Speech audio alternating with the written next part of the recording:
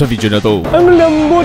we will do an amazing Tokyo street food tour sa isang sikat na market dito sa Japan. Sobrang laki gawin para siya kakainin eh. Papakabusog tayo from pork trotters, sushi rice bowls, Nice pare, perfect pa ito. at sa uli, kakain din tayo ng Chinese-Japanese style ramen. Mga paps, welcome to Ameyoko. Ah, ang init ito. Mas hot pa to kay Piolo Pascual na nakatopless. Ready ka na ba? Tsura! Ameyoko is a busy market street along the Yamanote Line between Okachimachi and Ueno stations. The name Ameyoko is a short form for Ameya Yokocho, which means Candy Store Alley. Dahil dati daw, eh mga candies daw talaga mga binibenta dito. Pero alternatively, Ame also stands for America because a lot of American products used to be available here when the street was the site of black markets in the years following World War II. Okay pare, welcome to Tokyo, Japan. Nandito tayo sa isang famous food or shopping district dito sa Tokyo. It started as a black market. Nagbebenta ng iba't ibang mga produkto galing sa mga soldiers. Pero ngayon naging tourist spot at the same time, paborito ng mga lokal mamasyal dito. So from damit, sapatos, mga souvenirs, at syempre, sobrang daming pagkain. Anyway, simulan natin ang food trip natin dito sa Ameyoko. Tara!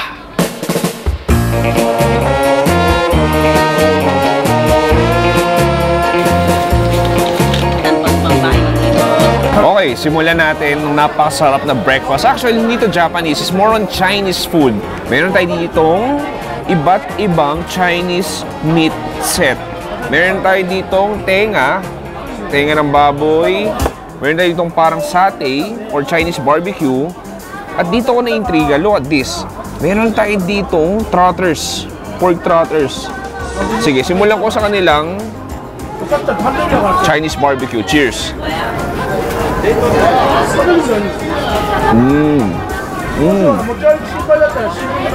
Mga flavor bomb. Spicy, salty, turmeric. And then parang may bobong chili powder pa. Parang may Chinese style seasoning. Oh, sarap. Ang lambot din. Tikman natin tong tenga. Okay, parang malambot ah.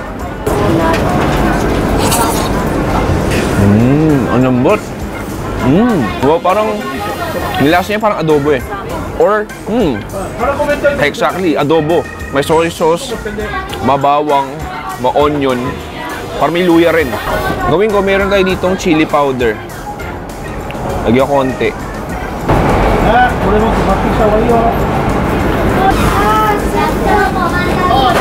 Mm, alam mo?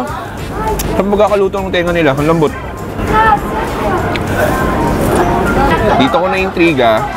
Ito yung pork trotters nila. Actually, kakamayin ko na. No, that... Ang lambot! Itikman natin. Bahala na. Okay, pare. Cheers! Mmm. Mmm.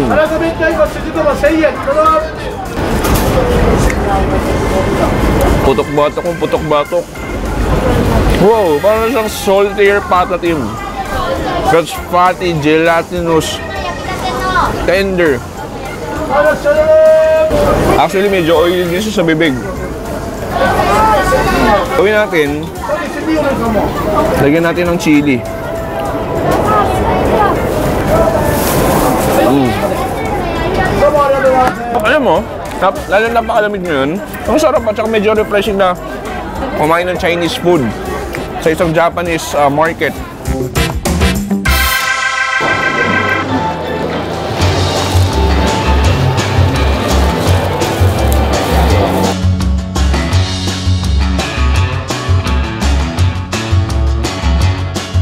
Next, meron tayo ditong iba't ibang sushi rice bowls. Look at this. This looks like a painting ng isang Japanese artist. Anyway, punta tayo sa ating salmon. Look at that. So there's a ocean of different uh, layers ng salmon and then sa ilalim, there's a bed of rice. Tikman mo natin yung salmon natin. Nice. Look at that.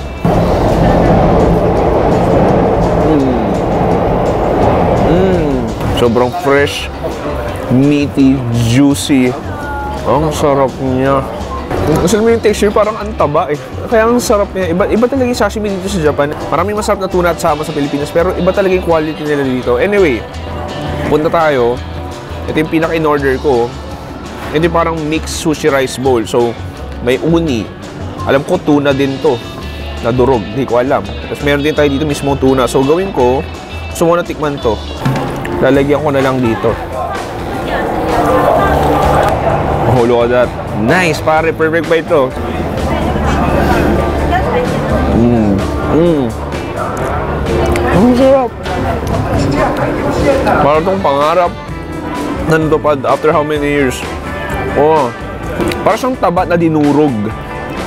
Ko, ano din, parang taba ng tuna to. Correct me if I'm wrong. Pero ang sarap niya. Sige, next natin itong tuna naman. Soy sauce.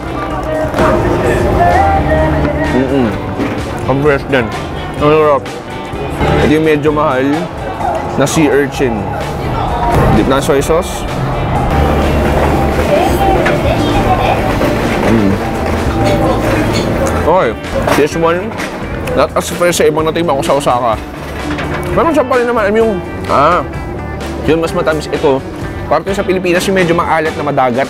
Parang ganun yung lasa niya. Alam ko kung seafood lover ka, ang sarap nito. Pero medyo may kamahalan lang. Parang nasa 1,500, magkano yun? Siguro mga 500 pesos to, itong rice bowl na to. Pero don't get me wrong, pare, ang sarap niya. Okay, ang sarap nito, pero proceed tayo sa next food trip.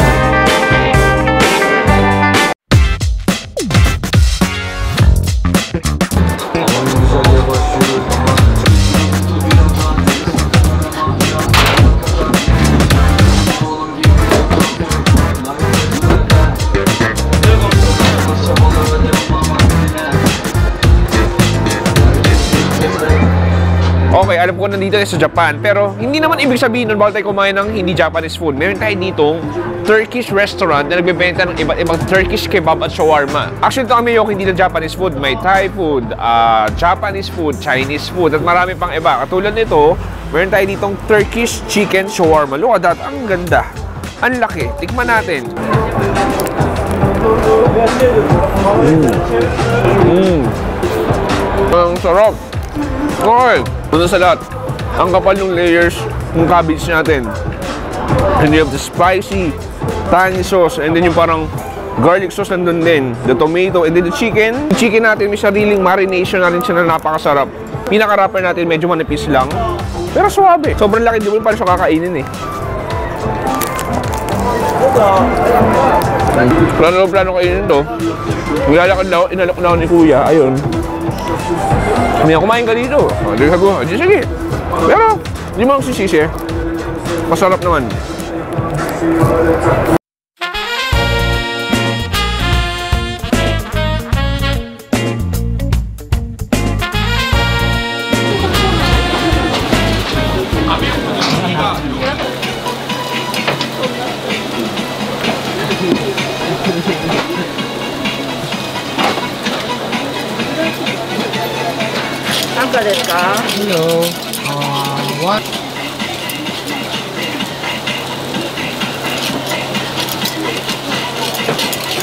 Okay, next. Meron nakita dito takoyaki. Pero medyo mura siya. Actually, ito yung pinakamurang takoyaki na nakita ko.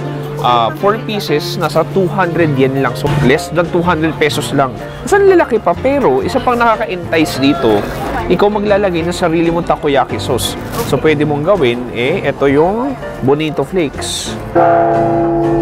Ilagay mo Japanese mayonnaise. Tapos, syempre, yung huli, yung takoyaki sauce. Kitang-kita mo naman yung bakas ng mga customers dahil hindi sila marunong maglagay ng mga ingredients ng takoyaki katulad ko. Lalagyan. Tingnan natin. Lasang takoyaki sauce. Anyway, proceed na tayo. Look at this. O, ba? Nagmukhang takoyaki na talaga. Wow. Ang laki pero parang creamy sa loob. Oh, ah, ang init ito. Mas hot pa to kay Piolo Pascual na naka-topless.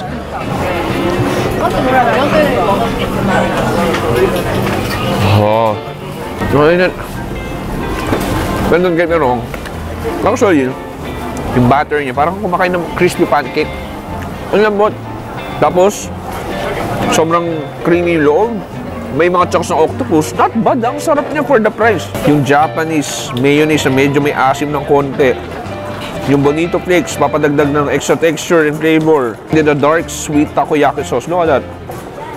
Grabe ang init oh. Grabe pala talaga. Dito sa Japan talaga ang takoyaki talaga. As in street food na street food nila. Parang yung mga hapon dito, favorite comfort food talaga yung takoyaki. As in kada kanto meron kahit dito sa Tokyo.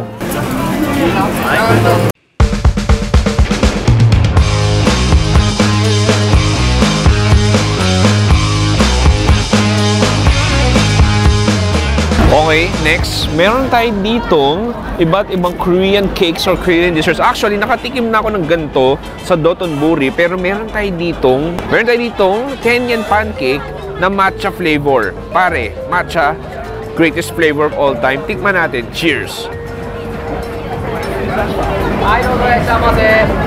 Okay. Wala nung ano, yung parang string. Hmm. Matcha flavor wise, yes, masarap. Parang siyang yung ano, mo yung matcha syrup sa ano, McDonald's. Parang ganun. Oh. Oh, that, that oozing matcha flavor. Ah, may cheese din siya. Oh, ano lang. Nabubutos na, parang nagkakaroon ng volcanic eruption. Wala talaga. Nag-expect ako may string, pero, kaya, pero alam mo, masarap siya. Na-enjoy ko siya, lalo na yung pancake. No, that, ayun, no? So, parang siyang matcha cheese pancake.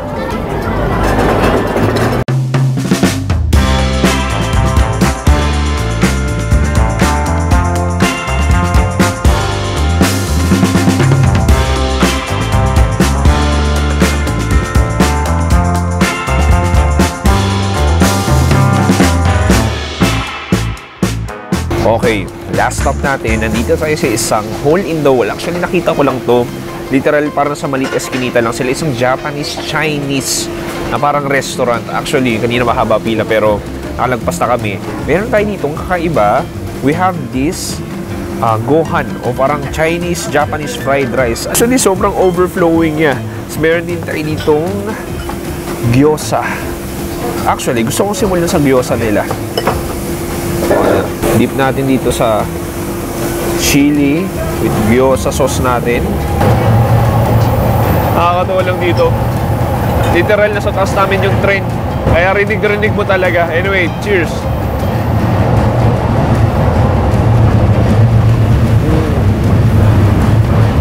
Oh. Super crispy outside. Ang lambot ng wrapper and then yung pinaka loob, very meaty, Very meaty, well seasoned. Yung onions nandun, yung garlic din nandun. Mmm. Ang sawa medyo parang siyang maalat na soy sauce. Punta tayo sa fried rice nila. Look at that. Egg fried rice, punong-puno. nice. Mmm. Ang sarap. Kasi yung ano, yang chow. Yeah, technically yang chow to. Sobrang fluffy, airy, maitlog yung kanin. Ang sarap. Parang kumakain sa high class sa Chinese restaurant. Ang ginagawa, ito talaga yung partner niya, yung parang sabaw. Titikman natin. Oh, kakaiba ha. Hmm, ano ba? Para kung hinihigop ng nilaga Nilaga sa swamp, parang ganun. Punta tayo sa parang Chinese style ramen. Look at that. Itsura niya, ah, mukhang ramen eh, pero parang Chinese infused na rin siya. Tingnan natin sabaw. Ooh. Very porky. As in, parang halatang ilang beses pinakuluan o ilang oras pinakuluan yung baboy dito. Gawin natin, kuha tayo ng, eh, so may nakita may chashu dito. So, this like green peas. May bamboo shoots pa to, mushroom. Okay, tikman natin to. Mm -hmm. Like, tastes like normal chashu sa ramen patty. Malambot, manipis. So, egg noodles gamit nila. Sige, tingnan natin. Mmm. Grabe. Ang lambot. Hindi nga chewy. Kasi nung lambot easy bite. So like a perfect crafted na egg noodles. Alam mo, iba rin pala pag ano, yun, no, Chinese, Japanese food. Parang fusion din sila sa sarap. Parehas powerhouse sa cuisine, tapos nagsama sa isang dish. So mapapansin mo, roadside lang talaga. Sa small alley, makasali rin yung mga kasama mong kumakain. Mga estudyante, wala ganun turista. At higit sa lahat, marami ring Chinese kang kasabay. Cheers!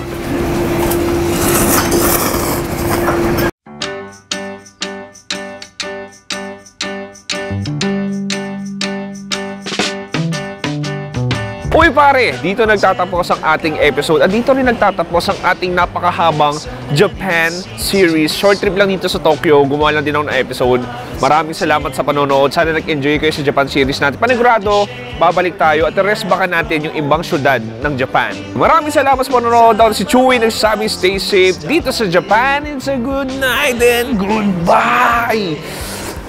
Bye!